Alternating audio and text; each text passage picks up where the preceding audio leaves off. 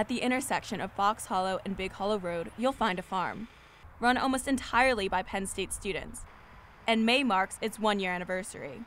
Oh my goodness, we exceeded expectations in our first year of growing out on the one acre pilot site. Um, we went above and beyond what we could have possibly hoped. We had, we sold over 10,000 pounds of produce, um, which is fantastic. Despite the fact that the farm had a successful first year, having produced over 10,000 pounds in produce, they say that they put a greater emphasis on education and community building. Student farm intern Carissa Hine says that the farm goes way beyond farming. We're not just about producing as much produce as we can. We care a lot about the same amount, if not more, about community building and education. The farm helps students and community members gain experience. Jessica Chow says this is an eye opening experience.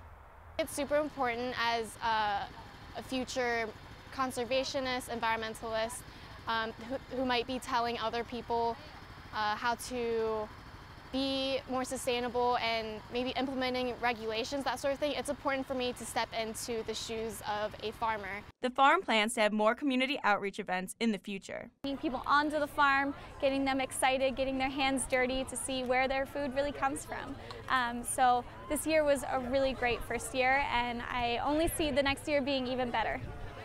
Reporting in State College, I'm Amanda Schmidt for the Centre County Report.